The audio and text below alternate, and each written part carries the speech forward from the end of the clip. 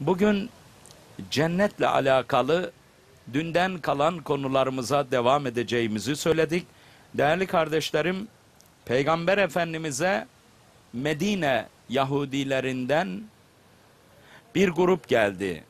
Hazreti Peygamber'i imtihan etmek adeta haşa. Hani onu sorguya çekip bilemediği şeyleri soracaklar. Çünkü Resulullah Mekke'de yetişmiş, okuma yazma bilmeyen, bana Allah vahyediyor diyen birisi. Dolayısıyla Tevrat'ta çok derin ilim sahiplerinin anca bilebildiği bilgiler. Tevrat bizim kitabımız gibi değil. Yani Tevrat deyince Kur'an-ı Kerim gibi böyle ince bir kitap aklınıza gelmesin. Dolayısıyla Hazreti Allah'ın bir de peygamberimizden önceki diğer peygamberlere gelen kitaplar bir anda gelmiştir toplu olarak. Resulullah Aleyhisselam'a Kur'an-ı Kerim peyderpey, ara ara, olaylara göre, zamana göre, şartlara göre farklı ayeti kerimeler, farklı sureler gelmiştir. Yahudiler Resulullah'ı sorguya çekmek, imtihan etmek ve onun bilemeyeceği şeylerle onu mahcup etmek istediler. Ve Medine'de Resulullah'ı ziyarete geldiler. Medine'de yaşayan Yahudilerin bilginleri, alimleri. Peygamberimize dediler ki cennete girenlerin yiyeceği ilk yemek ne olacak? Cennetliklerin yiyeceği ilk yemek. Bu onların Tevrat kitaplarında da vardı. Peygamber Efendimiz'e de bunu ancak Cebrail aleyhisselam bildirirse bilebilir. Çünkü Resulullah daha öncesinden Tevrat okumuş biri değildi. Peygamberimiz daha öncesinden birinden baştan sona bir Tevrat dinlemiş de değildi. Dolayısıyla bunu ya Tevrat'ı iyice bilen biri bilebilir, her okuyan da bilemez. Şimdi Kur'an-ı Kerim'i her okuyan Kur'an'ın içindeki hükümleri bilebilir mi? Özel ilim sahibi olanların bilgisi daha derin. Hazreti Peygamber'e cennetliklerin ilk yiyecekleri nedir dediler. Resulullah Efendimiz dedi ki balıkların ciğerinin yanındaki et parçası o balık ciğeri yani balık ciğeriyle beraber üstündeki et çok lezzetli ve çok pahalı. Değerli kardeşlerim Hazreti Peygamber aleyhissalatu vesselam Efendimiz bunu söyleyince şok oldular. Peki ne içecekler deyince selsebil dedi Resulullah. Selsebil ırmağının suyundan içecek ilk defa cennete girenler. Hazreti Peygamber aleyhisselama peki ertesi gün ne yiyecekler? Hazreti Musa'nın imtihan edildiği hani buzağıyla imtihan edildi ya sığır eti yiyecekler dedi. Yahudiler birbirlerine baktılar.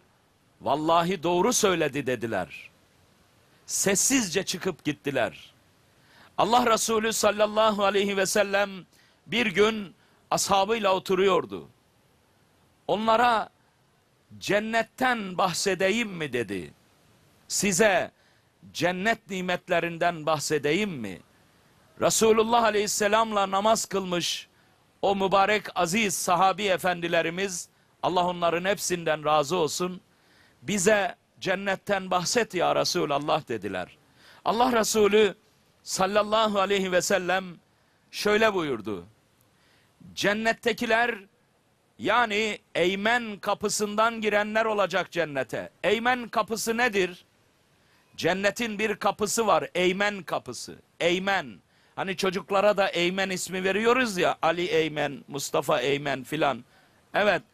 Eymen kapısı mahşer günü hesaba çekilmeden herkes hesaba çekilecek ya Allah'ın razı olduğu günahları defterleri sevapları defterleri Allah'ın malumatında tartılmış ve onlardan Allah razı olmuş. Allah onları mahşerde ayrıca bekletmiyor. Hesapsız cennete girecek olanlar. en hızlı, en erken cennete girecek olanlar Eymen kapısından. Allah'ım bize Eymen kapısını açmayı şu sahur vaktinde nasip et ya Rabbi.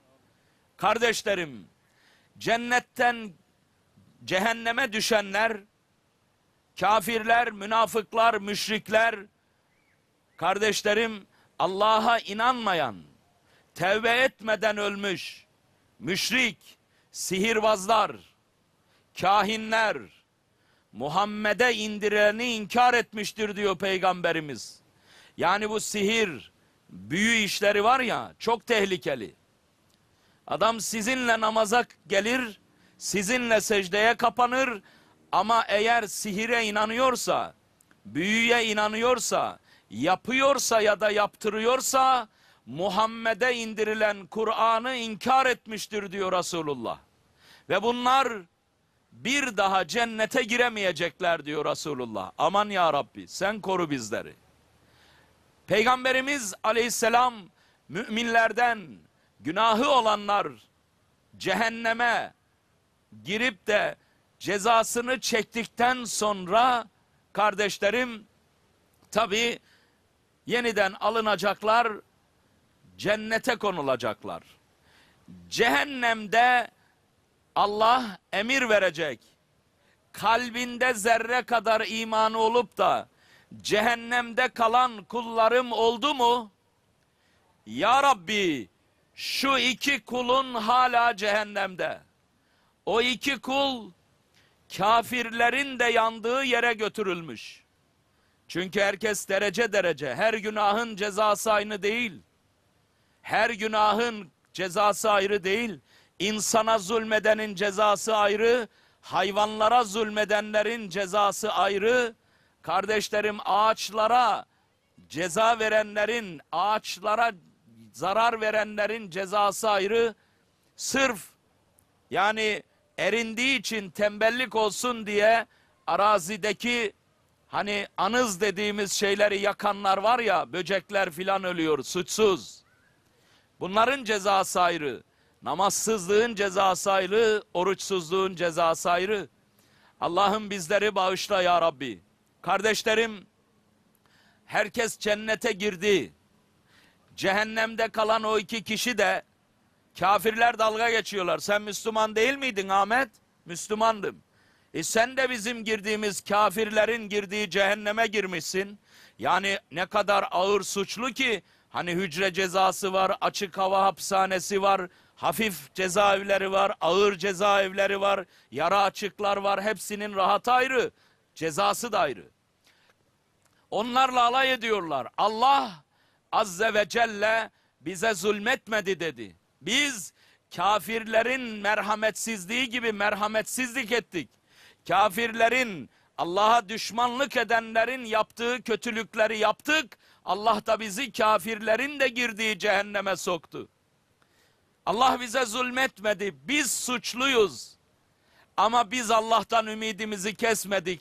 Vallahi Resulullah müjdeledi. Kalbinde zerre kadar iman olan cennete girecek dedi. Allah emir verdi. Onları da cennete koyun. Onlar da cehennemden çıkacak. Kaldı mı hiç Müslüman? Kalmadı ya Rabbi. Cehennemde zerre kadar, toz zerresi kadar kalbinde iman olan, hayatında bir defa olsun cuma namazı kılmış, ömründe bir defa olsun bayram namazına gitmiş, hayatında bir defa oruç tutmuş, bir defa kelime-i şehadet getirmiş, bir kimse kaldı mı? Kalmadı ya Rabbi. Cehennemin kapısını kapatın ve mühürleyin. Bugünden sonra buradan çıkış yoktur deyin. Dediler. Peygamberimiz dedi ki cennetlikler cennete gelince derece derece olacak. Sevgili seyirciler, kıymetli kardeşlerim, Eyüp Sultan Hazretlerinin huzurunda bir sahur vakti programımızı daha noktalarken bir konu geçti altyazıda onu hatırlatayım. Aklımızda kalmasın. Bir kadın birden çok evlenirse öyle ya kocası ölebilir. Çeşitli sebeplerle boşanabilir, başka bir beyle evlenebilir.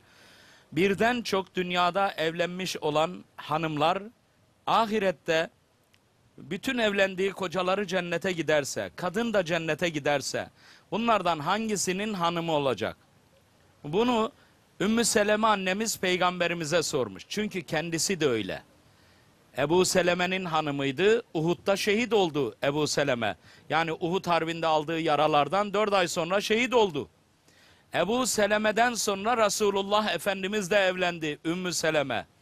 Bir kadın birden çok evlenirse kimin hanım olacak cennette ya Resulallah dedi. Peygamberimiz de buyurdu ki Allah kadını muhayyer bırakacak, serbest bırakacak. Dünyada ahlakça, merhamet ve iyilik yönünden takva olarak hangisi iyiyse onun hanım olacak dedi. Değerli kardeşlerim Allah cümlemizi cennet halkından eylesin, cehennemden korusun.